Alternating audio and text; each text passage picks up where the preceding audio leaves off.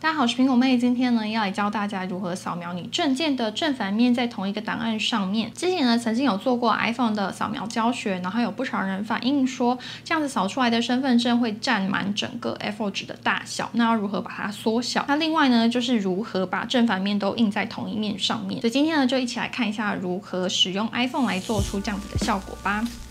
那我这边示范的呢，是一张悠游卡的正反面，然后是一张 A4 纸的大小，可以直接印出来。那最后档案格式的部分呢，可以是 PNG 档或者是 PDF 档。那我们首先要准备的当然是你的证件，然后我们需要一张 A4 纸。然后当然就是你的 iPhone 喽。那首先第一件事情呢，我们要用之前我们教过的方法，把你的身份证扫起来。我们先点开你手机上面档案这个 App，这是每个人 iPhone 上面都一定会有的 App。我们把它打开进来之后呢，确认一下你今天的资料夹是不是我的 iPhone。如果不是的话呢，你要回到上一页，然后再点选我的 iPhone，然后我们按右上角的三个点点，这边呢有一个扫描文件的选项，点下去。那打开这扫描的画面呢？我们先按一下右上角的自动，让它变成手动，它才不会在我们在排版的时候一直拍照。那我们现在呢，先来把我们的 A4 纸还有证件摆好。我们先扫正面，就是身份证的正面呢，我们摆在左上角。接着用你的相机去对准整张 A4 纸，你会发现它有一个蓝色的框框，注意它的涵盖范围要包含整张 A4 纸，然后按一下下面的这个拍照键。它这边呢就会让你去调整它四个角胶，那你就可以去调整，让它的扫描档不要去包含到后面的背景。调整完之后呢，按一下右下角的保留扫描档。那这样我们第一面已经扫描完成了，我们按一下右下角的储存，这边有一个储存键。再下一个我们要扫描证件的背面，我们一样再按右上角三个点点，然后再按一次扫描文件。进到这个画面之后，我们一样按一下右上角自动，让它变成手动，它才不会一直拍照。那现在呢，我们只要扫描我们证件的背面就可以了，不用扫到 A4 纸。所以我们就用我们相机对准我们的证件，我们的证件背面被这个蓝色框框包围，就可以按下面的这个拍照键了。然后一样呢，你可以去调整你的边界，然后按一下右下角的保留扫描档。接着按右下角储存。好，这样我们两面就扫完了。那接下来呢，我们就是要把刚才的两个扫描档合并在一起。那要怎么合并呢？我们要利用 iPhone 上面的捷径。捷径是什么东西呢？它是 iPhone 上面一个类似工具库的地方。那它里面有非常多的功能。我们今天呢，就是要把捷径里面既有的功能，把它拼凑出来一个可以把我们身份证正反面合并在一起的功能。如果你找不到的话呢，就到最后一页的这个 App 资料库，你上面打捷径。那这边就出现，我们点进来，进来之后呢，在最左边的这个我的捷径，按一下右上角的加号，这边捷径名称我们帮它命个名，我的名字是写合并扫描档，但是随便你要怎样命名都可以。那接下来我们要加入第一个动作，按这个加入动作，进来之后呢，按一下右边第三个文件，然后我们往下滑。往下滑呢，找到档案储存的项目，再继续往下，看到这边有一个选择档案，点下去，它是加进来，对不对？然后接下来呢，看到下面有一个文件的视窗，我们把它拉开来，拉开来，我们再一次选择选择档案，然后加进来，对不对？现在有两个选择档案的动作，然后我们再一次打开文件。有优质的赞助厂商，我们才能制作更优质的内容。感谢今天的赞助商 Setup。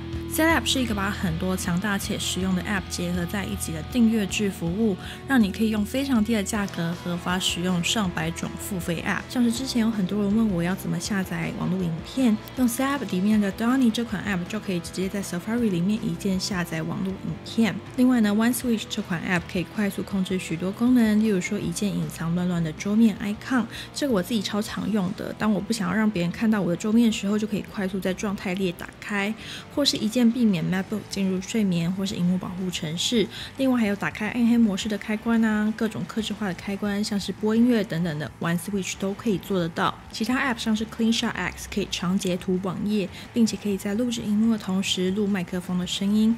另外呢，它在录影或是截图的时候，也可以帮你隐藏桌面上面乱乱的 icon 哦。还有呢，Creo 这款 App 可以让你一键关闭所有正在执行的 App，或是利用勾选的方式分别关闭 App。那 set up 里面呢，还有另外一百多款 App，让你随时可以下载使用。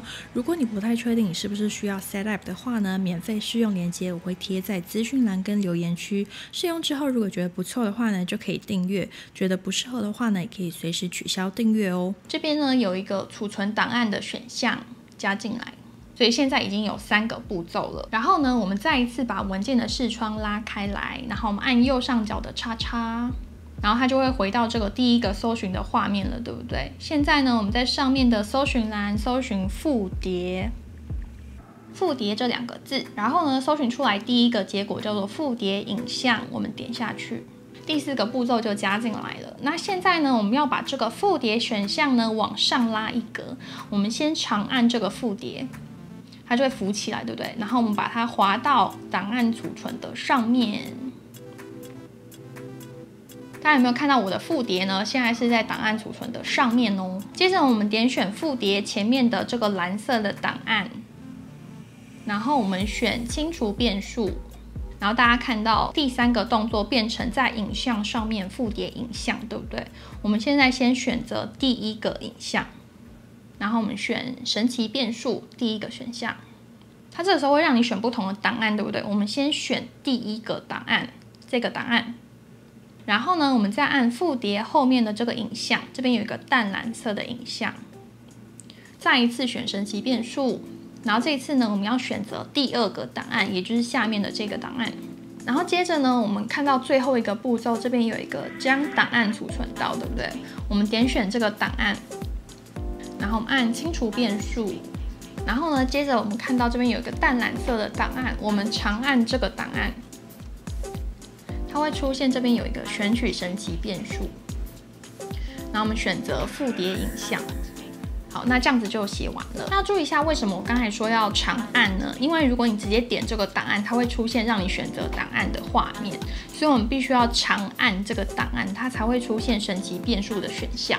那注意一下，我们今天写的这个捷径脚本，它是可以重复利用的。也就是说，以后如果你要再扫描你的证件的话，就不用再写那么多步骤。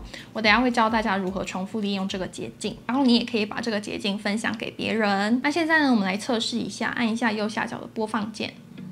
我们现在先选第一个扫描档，也就是有 A4 纸，然后证件照正面的这个档案。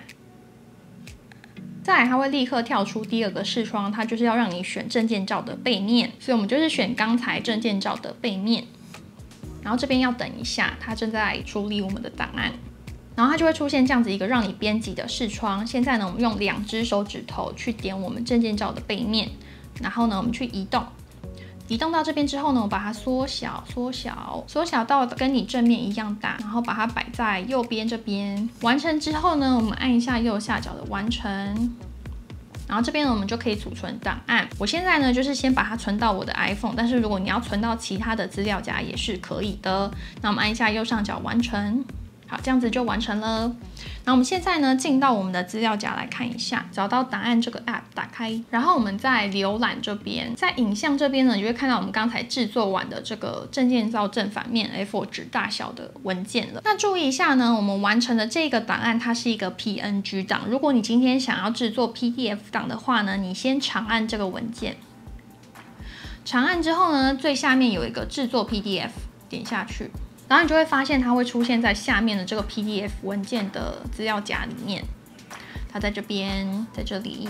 然后现在你就可以直接分享或者是列印这个文件了。那我们现在来讲一下如何重复利用我们刚才写完的捷径。今天呢，如果你有其他的证件需要扫描的话呢，一样就是到档案这边，然后用我们刚才的方式，就是按右上角三个点点去扫描证件的正反面。那扫完之后呢，我们打开捷径。捷径这边呢，我们刚才写到这边嘛，我们按一下右上角的叉叉。一般来说，你打开捷径会在这个画面。那我们去找到我们刚才写完的这个合并扫描档，那我们直接点一下，它就会让你选你第一个扫描的档案，一样我们就选 A4 纸大小的。然后它会让你选第二个档案，也就是证件照的背面。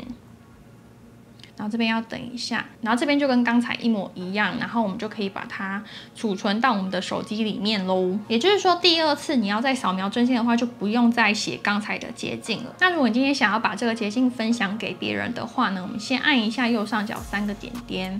那我们可以按下面的分享键，你就可以 AirDrop 或者是用 Line 传给别人喽。那注意一下呢，我这几次测试下来，发现它有一点不稳定。就是如果你选完两个档案，结果它出现一个什么错误捷径的话呢，你必须要重新开机。重新开机之后呢，你再进来捷径这边去选你的档案就可以了。好，那我们今天呢，扫描证件正反面的教学就到这边，希望帮助到大家。另外呢，如果你还有任何的疑问的话呢，也欢迎在留言区告诉我哦。